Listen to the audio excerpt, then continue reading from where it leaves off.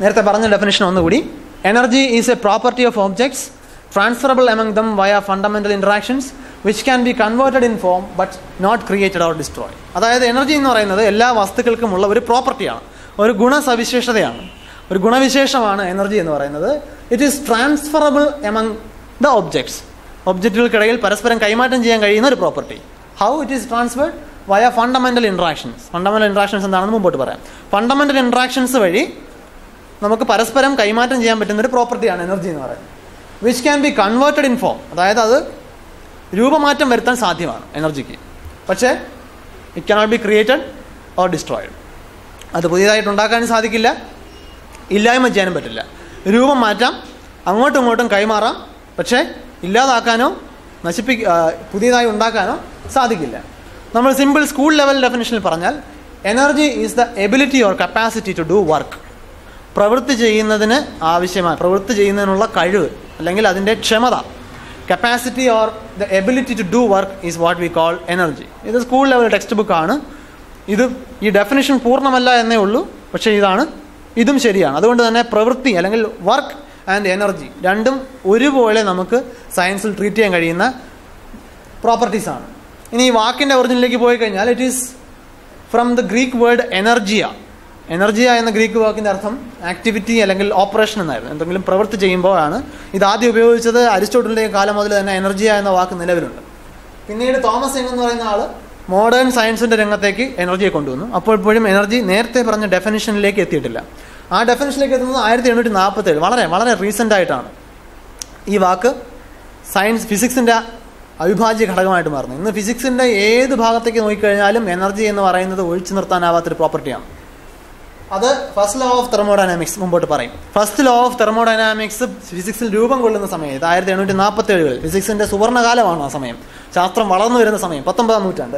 ആ സമയത്താണ് ഇത്രയും കൃത്യമായ കണിശമായ ഒരു നിർവചനത്തോടൊപ്പം എനർജി എന്ന വാക്ക് ഫിസിക്സിൽ രംഗപ്രവേശം ചെയ്യുന്നു. അതിനു മുമ്പ് വളരെ ലൂസായിട്ട് ഉപയോഗിക്കപ്പെട്ടുകൊണ്ടിരുന്ന ഒരു വാക്കാണ്. ഡിക്ഷണറി നോക്കിക്കഴിഞ്ഞാൽ അതിന്റെ ഒറിജിൻ ആയിരത്തി അഞ്ഞൂറ്റി തൊണ്ണൂറ്റൊമ്പതുകളിൽ വരെ എനർജി എന്ന വാക്ക് ആസ് സച്ച് ഉപയോഗിക്കപ്പെട്ടിട്ടുണ്ട്. പക്ഷേ സയൻസിൽ അത് ഉപയോഗിക്കാൻ തുടങ്ങിയിട്ട് ഏതാണ്ട് രണ്ട് നൂറ്റാണ്ടുകൾ മാത്രമേ ആയിട്ടുള്ളൂ. അതെപ്പോഴും ശ്രദ്ധിക്കണം.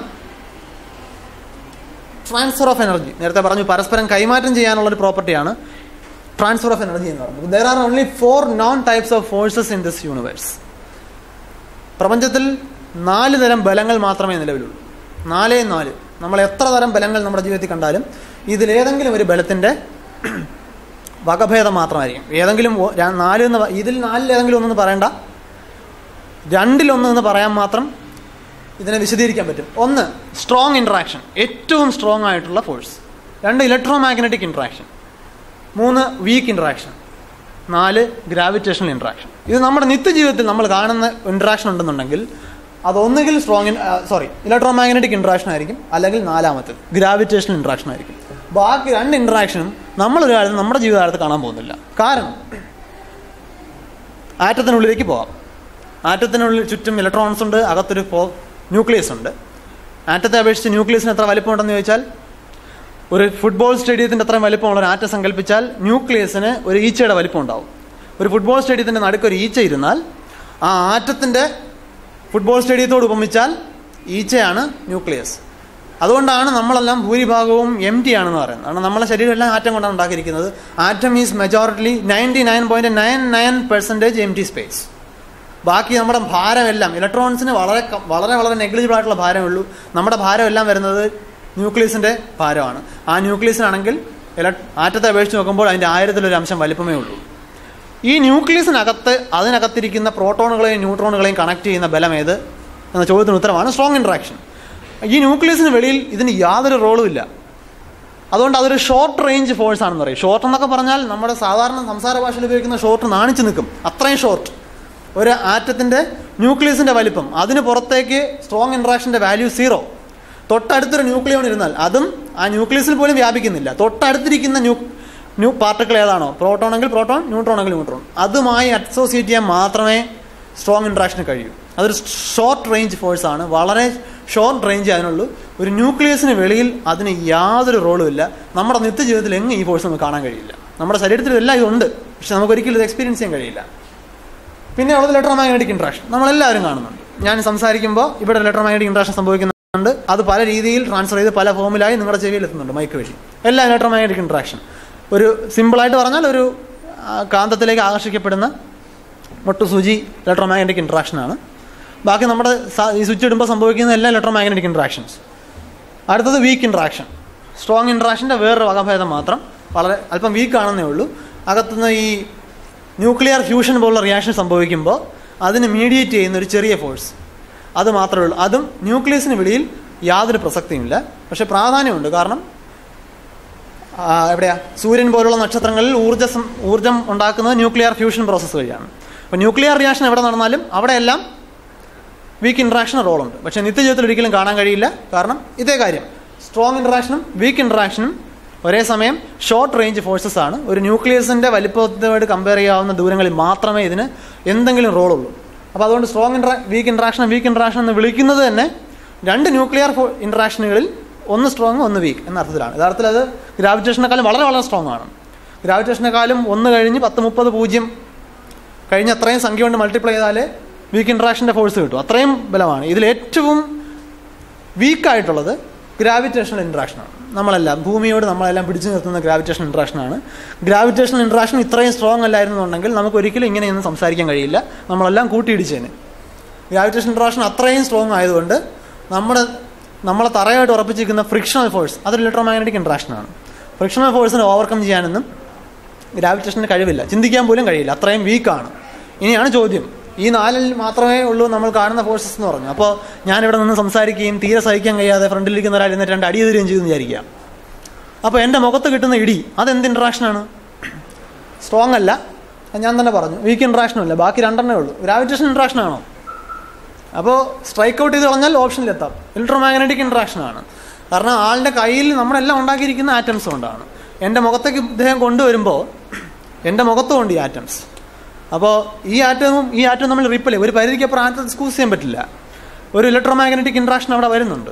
അതുപോലെ ഇടിക്കുന്ന സമയത്ത് ആളിന്റെ മസിൽ മൂവ് ചെയ്യുന്നതൊക്കെ അകത്തുള്ള പോസിറ്റീവ് നെഗറ്റീവ് ചാർജസിന്റെ അങ്ങോട്ടും ഇങ്ങോട്ടുള്ള കണക്ഷനാണ് അതുകൊണ്ട് മസിൽ ഇൻട്രാക്ഷൻ എന്നൊരു ഇൻട്രാക്ഷൻ ആവശ്യമില്ല. It is already a part of electro electromagnetic interaction ഇങ്ങനെ നമ്മൾ കാണുന്ന ഏത് ഫോഴ്സ് എടുത്തു കഴിഞ്ഞാലും ഫ്രിക്ഷൻ ആകട്ടെ. എന്തായാലും മെജോറിറ്റിയും ഇലക്ട്രോമാഗ്നറ്റിക് ഇൻട്രാക്ഷൻ ആണ്. അതുപോലെ ന്യൂട്ടന്റെയും ആപ്പിളിന്റെയും കഥ കേട്ടിട്ടുണ്ടാവും. ആപ്പിളിനെ ഭൂമി താഴേക്ക് അടിക്കുന്നതും അപ്പോൾ ആപ്പിൾ താഴേക്ക് വീഴുന്നതും കണ്ടിട്ടാണ് ന്യൂട്ടൺ ഗുരുത്വാകർഷണത്തെക്കുറിച്ച് കണ്ടെത്തിയത് എന്നാണ് പറയപ്പെടുന്നത്. അപ്പോൾ അതുകൊണ്ട് തന്നെ അവിടെ താഴേക്ക് വരുന്നത് എർത്തിന്റെ ഗ്രാവിറ്റേഷൻ അട്രാക്ഷൻ കൊണ്ടാണ്. അപ്പോൾ അത്രയും നേരം ആപ്പിൾ അവിടെ നിന്നതോ? അതെന്ത് ഇൻട്രാക്ഷൻ ആണെന്ന് വെച്ച് കഴിഞ്ഞാൽ അതിനെ നിർമ്മിച്ചിരിക്കുന്ന പ്രോട്ടീൻ തന്മാത്രകൾക്ക് അകത്തുള്ള കെമിക്കൽ ആണ്. കെമിക്കൽ ബോണ്ടുകൾ എന്ന് പറയുന്നത് ഇലക്ട്രോ മാഗ്നറ്റിക്കലി അട്രാക്റ്റഡ് ബോണ്ടാണ്. അതുകൊണ്ട് ഇലക്ട്രോ മാഗ്നറ്റിക് ഫോഴ്സ് തന്നെയാണ് ആപ്പിളിനെ അവിടെ നിർത്തിയിരുന്നത്. അതായത് ഒരു കുഞ്ഞ് ഞെട്ട് കൊണ്ട് അവിടെ നിർത്തിയിരുന്ന ആപ്പിളിനെ ആ ഒരു കുഞ്ഞ് ഞെട്ടിൽ ഇലക്ട്രോ മാഗ്നറ്റിക് ഇൻട്രാക്ഷൻ കൊണ്ട് അവിടെ നിന്നിരുന്ന ആപ്പിളിനെ താഴെ വലിച്ചിടാൻ ഭൂമിയുടെ അത്രയും വലിയൊരു സാധനം വേണ്ടി വന്നു.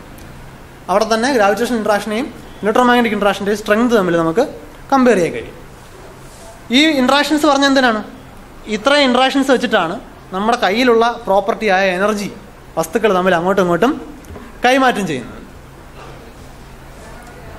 ഇനി എനർജിയും മാറ്ററും തമ്മിൽ അഭേദ്യമായ രീതിയിൽ ബന്ധപ്പെട്ടിരിക്കുന്നു. Energy can be considered equal to matter എന്നാണ് ഐൻസ്റ്റൈന്റെ വിശ്വപ്രസിദ്ധമായ ഈ ആ.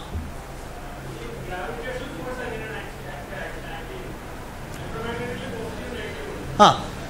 Gravity is always attractive in nature എന്തുകൊണ്ടെന്നുള്ളത് പറയും. ചോദ്യം റിസർവ് ചെയ്ത് വെച്ചോളൂ. ആ സമയത്ത് അത് പറയുന്ന സമയത്ത് ഞാൻ മറന്നുപോയാൽ ഓർമ്മിപ്പിക്കണം. Okay energy can be considered equal to matter അതായത് E is equal to M C square കണ്ടാൽ ചെറിയൊരു ഇക്വേഷനെങ്കിലും ലോകത്തെ മുഴുവൻ മാറ്റിമറിക്കാനുള്ള സ്ട്രെങ്ത് ഉണ്ടായിരുന്ന ഒരു ഇക്വേഷനാണ് E is equal to M C square അതായത് എം മാസ് ഉള്ള ഒരു വസ്തു ഉണ്ടെങ്കിൽ it is equal to an energy E which is given by E is equal to M C square C is the speed of light in vacuum ശൂന്യതയിൽ പ്രകാശം എത്ര വേഗതയിൽ സഞ്ചരിക്കുമോ? ആ വേഗതയെ ഒരു കോൺസ്റ്റന്റ് സി കൊണ്ട് നമുക്ക് സൂചിപ്പിക്കാം. അതാണ് സി ഈസ് ഈക്വൽ ടു അത് ഏതാണ്ട് മൂന്ന് ലക്ഷം കിലോമീറ്റർ പെർ സെക്കൻഡ് ആണ്. മൂന്ന് ലക്ഷം കിലോമീറ്റർ പെർ സെക്കൻഡ് അത്രയും വലിയൊരു സംഖ്യയുടെ സ്ക്വയർ കൊണ്ട് ഒരു വസ്തുവിന്റെ ഒബ്ജക്റ്റ് ആ മാസിനെ പിണ്ടത്തെ മൾട്ടിപ്ലൈ ചെയ്താൽ അത് എത്രത്തോളം ഊർജത്തിന് തുല്യമാണ് എന്ന് നമുക്ക് മനസ്സിലാവും. ഇത് വെറും ഐൻസ്റ്റൈന്റെ തിയറട്ടിക്കൽ ട്രിക്ക് മാത്രമല്ല. സൂര്യനിൽ ഊർജം ഉണ്ടാകുന്നത് ഇതേ ഇക്വേഷന്റെ ആപ്ലിക്കേഷനാണ് നാല് പ്രോട്ടോണുകൾ നാല് ഹൈഡ്രജൻ ന്യൂക്ലിയസുകൾ ചേർന്ന് ഒരു ഹീലിയം ഉണ്ടാകുന്നു. നാല് ഹൈഡ്രജൻ ന്യൂക്ലിയസുകളുടെ മാസ് നോക്കുക. ഉണ്ടായ ഹീലിയം ന്യൂക്ലിയസിന്റെ മാസ് നോക്കുക. ഹീലിയം ന്യൂക്ലിയസിന്റെ അല്പം മാസ് കുറവുണ്ടാവും. കുറച്ച് മാസ് മാറി. എവിടെ പോയി. ആ മാസ് എവിടെ പോയി എന്ന് ചോദിച്ചാൽ ഒബ്വിയസ് സൂര്യനിൽ ടെമ്പറേച്ചറായി ഊർജമായിട്ട് ഉൽപ്പാദിപ്പിക്കപ്പെട്ടു. സൂര്യനിലെ കാര്യം പറഞ്ഞാൽ ഒരു സെക്കൻഡിൽ അറുന്നൂറ് ലക്ഷം ടൺ ഹൈഡ്രജൻ ഹീലിയമാക്കി മാറ്റിക്കൊണ്ടിരിക്കുന്നു. അത്രയും എനർജിയാണ് നമ്മുടെ സോളാർ സിസ്റ്റത്തിൽ മുഴുവൻ എത്തിച്ചേരുന്നത്. അതുപോലെ നമ്മുടെ ന്യൂക്ലിയർ റിയാക്ടറുകളിലും നമ്മുടെ കണികാ പരീക്ഷണശാലകളിലും ഒക്കെ നിരന്തരം ഈ ഇസിക്കോട്ട് എം സി സ്ക്വയർ എന്ന ഇക്വേഷൻ അനുസരിച്ച് മാസും എനർജിയും തമ്മിൽ തമ്മിൽ കൺവേർട്ട് ചെയ്യപ്പെട്ടുകൊണ്ടേയിരിക്കുന്നു.